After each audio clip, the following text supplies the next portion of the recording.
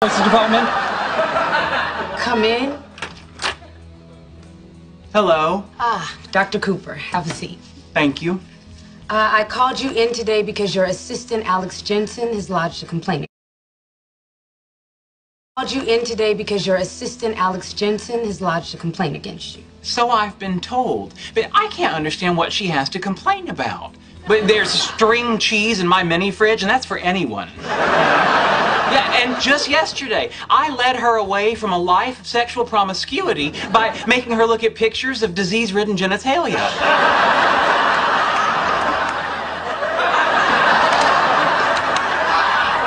Cancel my next appointment. This is going to take a while. Dr. Cooper, you said things to your employee that you just cannot say in the workplace.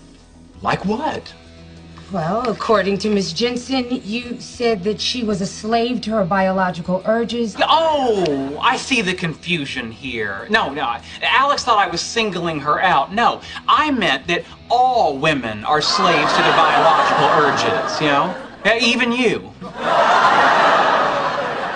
You're a slave. I'm a what?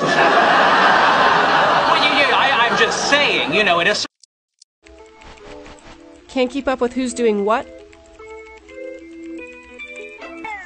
Monday.com brings teams, departments, and offices closer together in one easy to use platform.